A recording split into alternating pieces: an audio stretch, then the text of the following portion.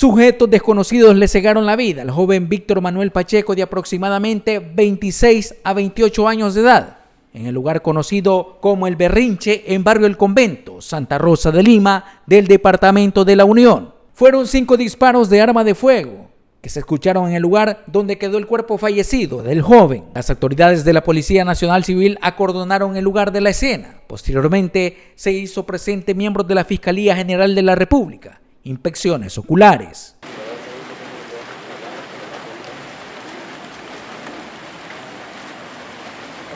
Eh, bueno, preliminarmente este caso está en investigación. Estamos, hemos tenido una primera aproximación a la escena. El equipo de investigaciones de la Policía Nacional Civil en conjunto con la Fiscalía pues están recabando elementos de investigación para luego establecer algún tipo de responsabilidad. Por el momento pues no tenemos digamos algo certero que podamos nosotros mencionar, pero pues Fiscalía va a investigar este caso a profundidad para determinar responsable en su momento.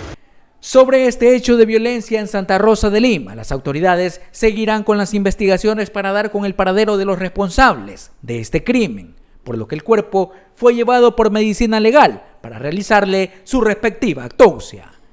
Con edición de Miguel Parada, informó para Noticiero El Zamorano Moisés Paniagua.